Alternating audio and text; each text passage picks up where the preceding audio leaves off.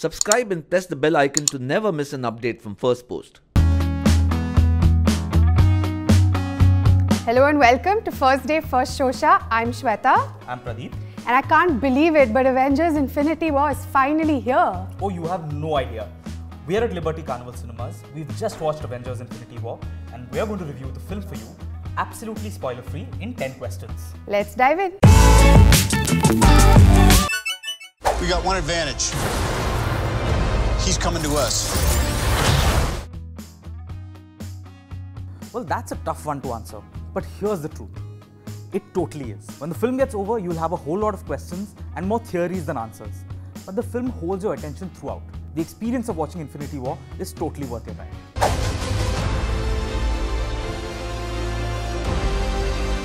The best thing about Infinity War is Thanos and how relentless his threat to the universe is.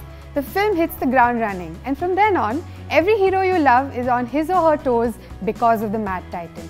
If you thought Eric Killmonger was a great Marvel villain, wait till you meet Thanos.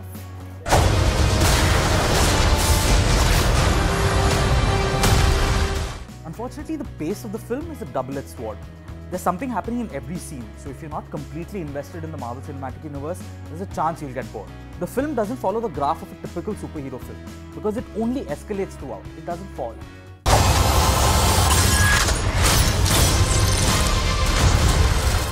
Yes, it's true that characters in Infinity War barely get enough screen time as compared to previous films. However, the characters do manage to make their presence felt despite so many of them being packed into one film. A few important characters do get more exciting things to do than the others, but that's expected in a big ensemble film like this. Avengers. I hope they remember you.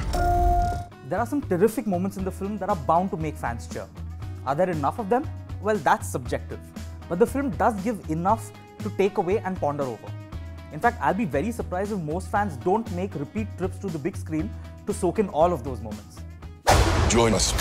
Join Earth's mightiest heroes. Not today, sir. Are you making your voice deeper? No. Infinity War assumes you know what happened before it more than any other MCU film so far. So, yes, those unfamiliar with the series are bound to struggle a bit with the film.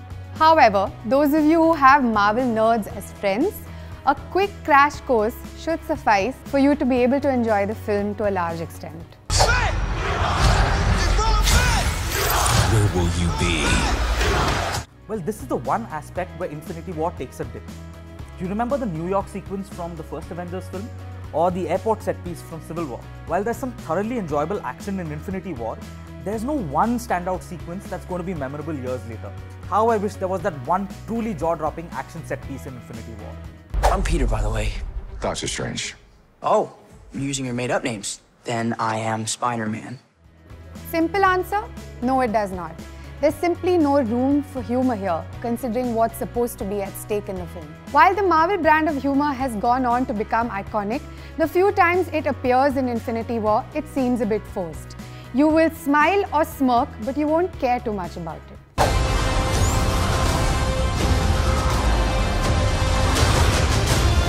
The end is near. As Shweta mentioned earlier, there are a number of characters in the film, and each of them does get something to do. My personal favorite was Thor. And my personal favorite was Doctor Strange. We're not going to tell you anything more. Watch the film and discover your own favorite character. I think it's good, except it sucks. So let me do the plan, and that way it might be really good. Wow. So that brings us to the most important question. What's the rating of Avengers Infinity War? Shweta? Well, for me, it's a 3.5 on 5 because all said and done, I had a great time watching the film. For me, it was a 2.5 on 5 because I think I wanted a little bit more. So the final first day, first Showsha rating of Avengers Infinity War, 3 on 5. You'll enjoy the film even if you have some problems with it. Well, that's it from us. We'll catch you next week with another review in 10 questions.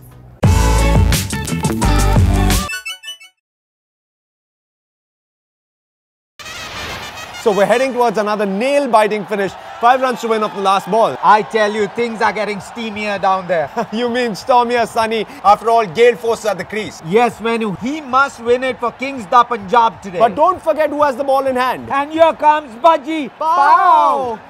And Gayle hits the ball in the air. Excellent, Get nothing!